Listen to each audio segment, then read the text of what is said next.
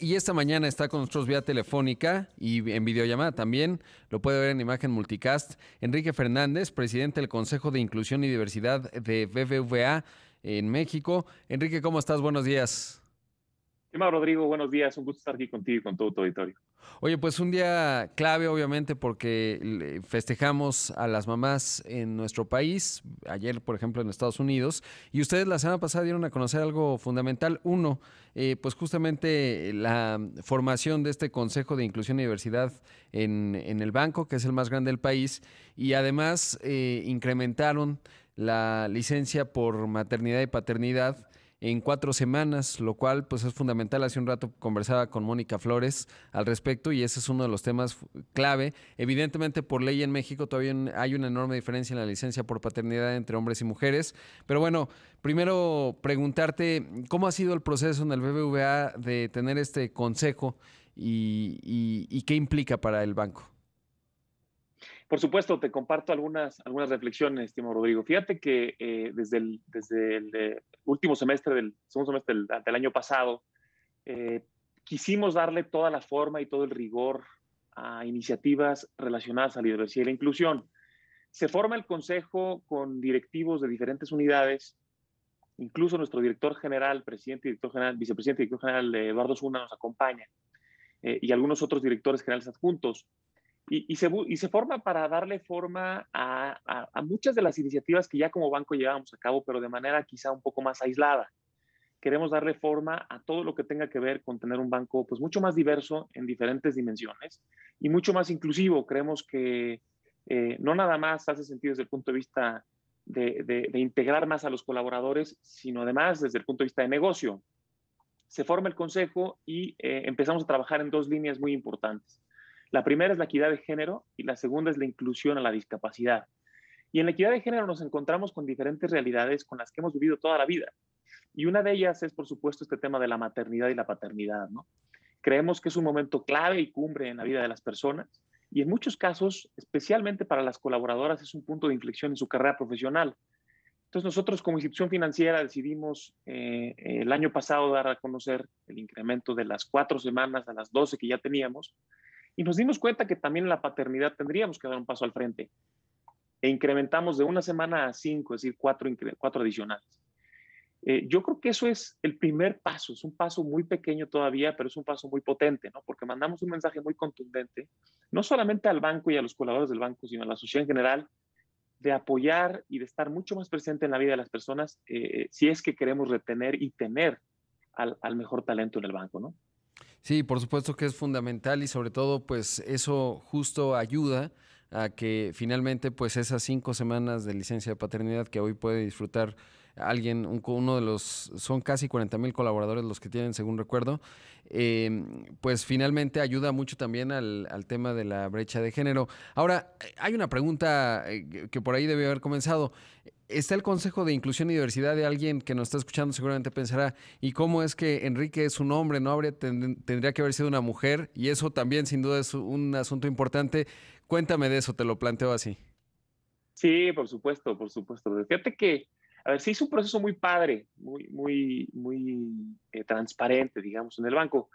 Nos invitan a 20 colaboradores de inicio de diferentes unidades, como te comentaba, a formar parte del consejo lo que se buscó es colaboradores que tuvieran, que tuvieran pues, mucha llegada con la gente, que tuvieran buena reputación, que pudieran representar a la mayoría, que de verdad tuvieran un interés genuino de ayudar a que esto ocurriera, primero que nada. Y luego, entre el propio consejo y con algunos asesores, pues me invitan a mí como presidente, incluso te diría yo, todos hubieran pensado que el presidente hubiera sido nuestro director general, Eduardo Zuna, y él mismo decide no serlo. Él dice, yo quiero mandar un mensaje muy contundente, decir, esto no tiene que ver solamente de una directriz del director general y de su comité de dirección, tiene que ver de todos en el banco. Es más, no es un tema de recursos humanos o de talento y cultura, como llamamos a la unidad, es un tema de todos, es un tema de cultura.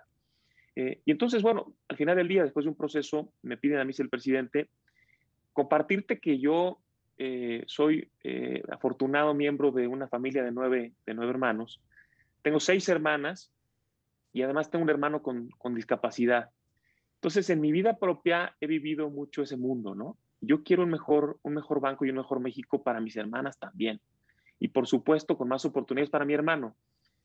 Eh, es decir, no tiene que ser una mujer, no es las mujeres eh, a favor de las mujeres, es los hombres y las mujeres a favor de la diversidad y la inclusión y la inclusión de la discapacidad. Es decir, somos todos sumados.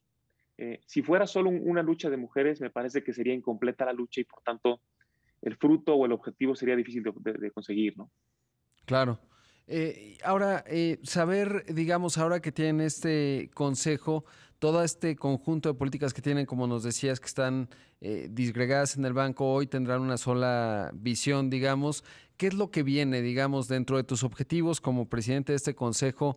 ¿Cuál es el siguiente hito que buscas lograr? ¿Qué es lo que quieres eh, avanzar al interior de esta organización? Que además, por ser la más grande de México, tiene impacto en muchísimas familias, pero sobre todo además el resto de la industria pues lo está observando con mucha atención, ¿no? Porque muchas cosas que han hecho en el pasado, eh, el resto de la industria las va adoptando y creo que este puede ser también el caso. Correcto.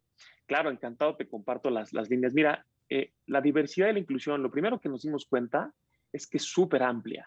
Es decir, puedes trabajar en muchísimas líneas y eso puede ser también peligroso, ¿no? Porque como dicen, el que mucho abarca poco aprieta. No podemos, no podemos tener múltiples frentes queriendo lograr todo en un banco tan grande como, como, como tú sabes. Entonces, lo que hicimos fue eh, acotar los objetivos de 2021, principalmente en dos. Equidad de género, es decir, queremos que las mujeres en este banco encuentren mejores oportunidades para crecer y queremos que lleguen más lejos. Entonces, estamos trabajando muy fuerte en esa línea. Eh, por supuesto, está el tema esta de, la, de la política de paternidad y maternidad. Estamos trabajando para que existan los procedimientos, las políticas de reclutamiento, de selección y de, y de, y de acompañamiento del talento en las diferentes etapas de sus, de sus carreras en el banco y que eso nos ayude, nos ayude a tener más mujeres en cargos directivos en el banco. Ese diría yo, uno de los primeros objetivos, ¿no? ¿Cómo hacemos para que este banco tenga más mujeres en cargos directivos? Si bien somos un banco muy, muy diverso en términos de, género en cuanto a que tenemos más de la mitad de las personas son mujeres, sí somos conscientes de que mientras más crecen en la pirámide, más se reduce el porcentaje de mujeres. Y ese es, diría yo, uno de los primeros retos. Y luego tenemos otro reto en el mundo de la discapacidad. Y la discapacidad la vemos con dos, con dos ojos de nosotros. Hay un tema de discapacidad relacionado a la, inclusión laboral. ¿Cómo hacemos para nosotros ser más inclusivos laboralmente a la discapacidad? Y también nos encontramos con un mundo enorme. La discapacidad tiene muchas, muchas caras. Discapacidad física, eh, visual, auditiva, intelectual, Queremos trabajar mucho para hacer un banco más inclusivo y dar oportunidad a gente que tiene capacidades diferentes para trabajar con nosotros. Ese es un frente. Y luego tenemos el otro frente, que es inclusión a la discapacidad desde el punto de vista del cliente. ¿Cómo diseñamos, desarrollamos, pensamos más en, nuestros clientes con capacidades diferentes? ¿no? no nada más cuando van a un cajero o a una sucursal, también cuando acceden a una aplicación móvil, cuando utilizan un producto. Es decir, hay mucho por hacer y esas son las líneas, diría yo, principales de trabajo de este año. Sí, pues eh, clave. Ahora, van a, eh, digamos, sé que hacen sus reportes y ahí vienen temas, eh, por ejemplo, de responsabilidad social, etcétera.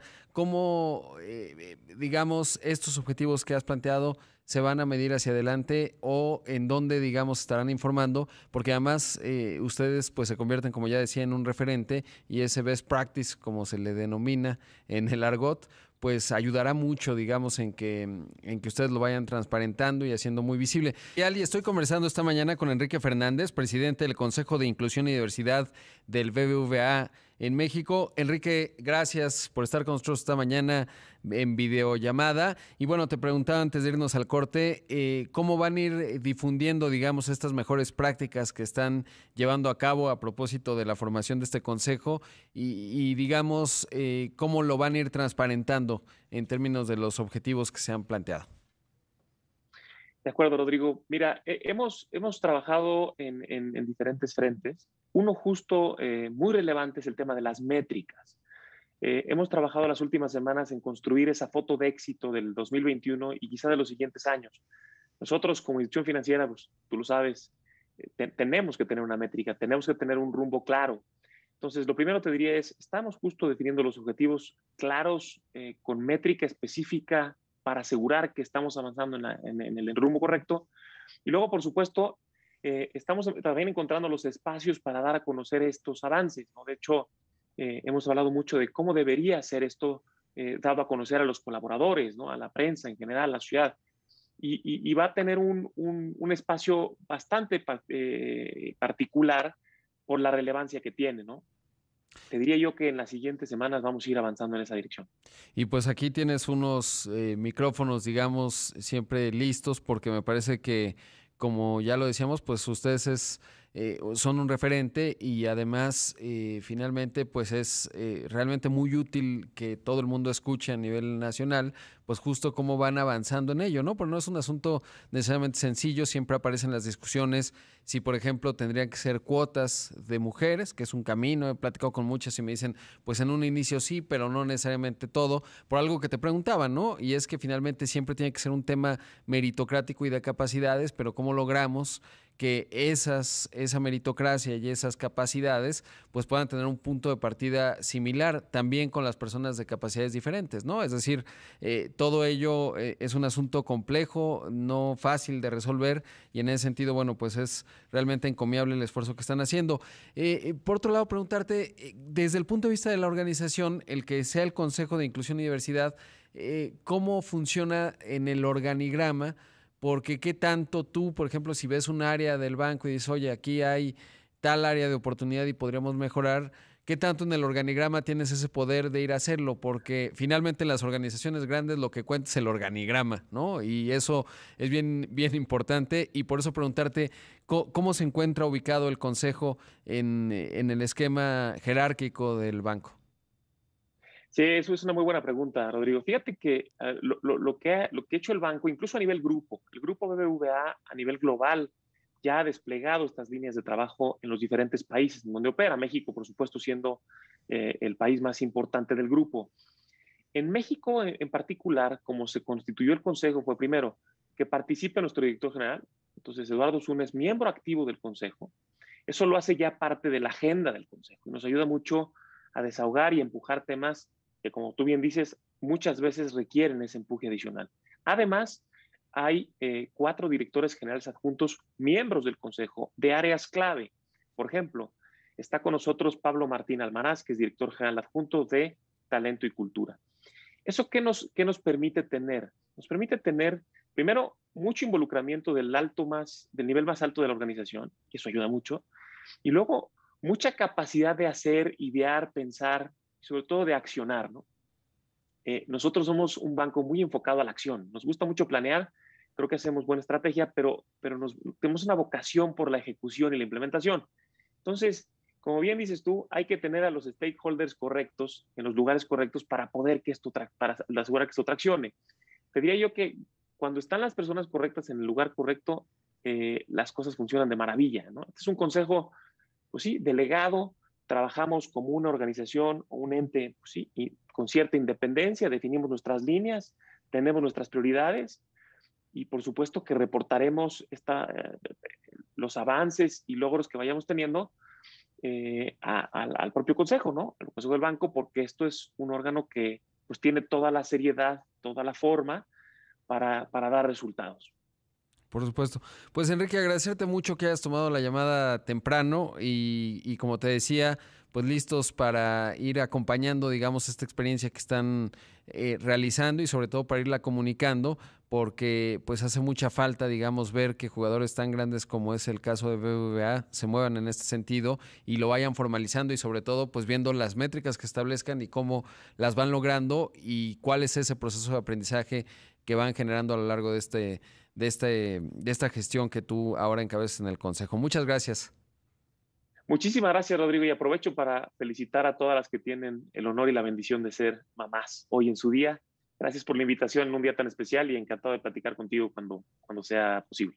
Gracias, Enrique. Ahí escuchamos. Enrique Fernández, presidente del Consejo de Inclusión y Diversidad de BBVA en México.